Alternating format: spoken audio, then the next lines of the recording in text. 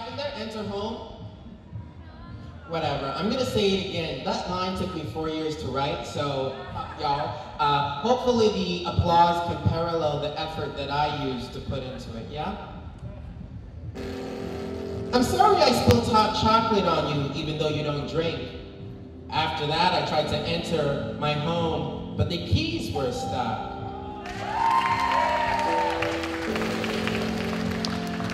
Miss Vista, I'm sorry that I swore at you. I called you a stupid piece of shit. But you haven't been that great to me either, Miss Vista. You haven't been that great to me. Shut down whenever you want to. You fall asleep whenever you want to. You pause so much you should get an applause trophy.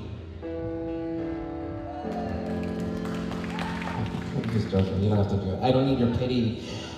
Miss Vista, I know you don't want me to say it, but you did get those viruses.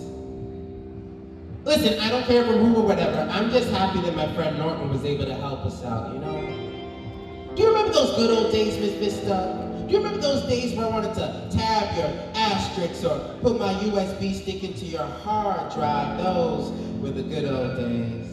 But I promise you here today, if you put some F4 into me, I'll put some F4 into you. So sleep, Miss Vista. Sweet dreams, Miss Vista. But tomorrow, please, please come back as the old Miss Vista laptop love. Good. We got two more quick pieces for y'all. Thanks for sticking around. Thanks for uh, being here. Uh, we're friendly guys, so come on and chat uh, to us. We'll be playing here tomorrow as well. Uh, so, you know, tell your friends. Tell them to all come on through.